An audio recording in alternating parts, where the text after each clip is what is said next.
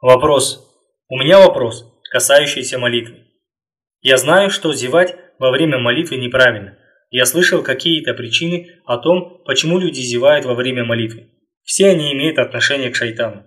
Кажется, что я зеваю всегда, когда молюсь. Есть ли пророческое средство для прекращения этого? И насколько это неправильно, что я зеваю? Ответ. Хвала Аллаху. Приведем наставление пророка по этому поводу.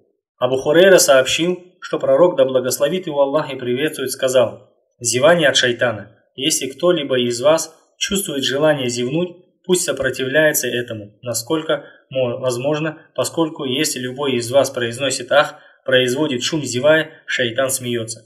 Аль-Бухари, номер 3289. Абу Хурейра сообщил, что пророк, да благословит его Аллах и приветствует, сказал «Аллах любит чихание и не любит зевание».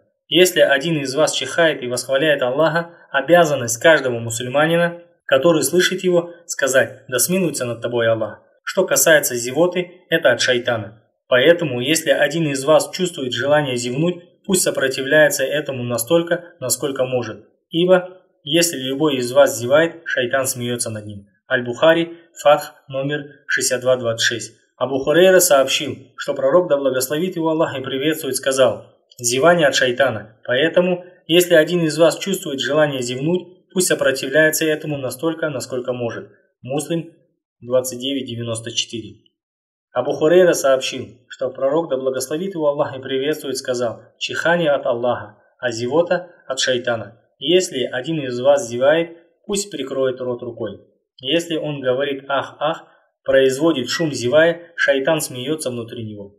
Абу Иса сказал, это достоверный хороший хадис. Суннан аль-Тирмизи, номер 2746. Классифицирован как хороший шейхом аль-Альбани в Сахих аль-Джами 41.30.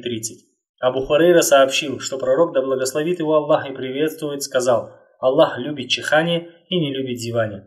Если один из вас чихает и говорит хвала Аллаху, обязанность каждого, кто слышит его, сказать «Да смилуется над тобой Аллах». Что касается зевоты, если любой из вас чувствует желание зевнуть, пусть сопротивляется этому настолько, насколько может, и не говорит «ха-ха-ха», не производит шум, зевая, так как это от шайтана, и тот смеется над ним.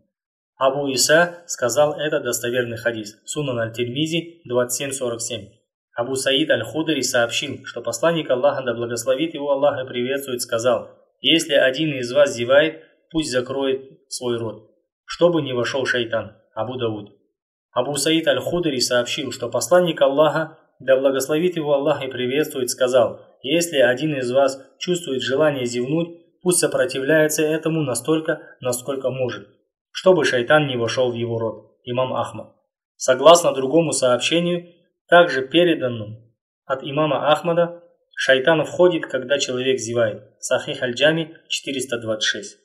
Из выше приведенных сообщений мы можем суммировать следующее. Первое. Что шайтан побуждает человека зевать, что является показателем ленности и вялости.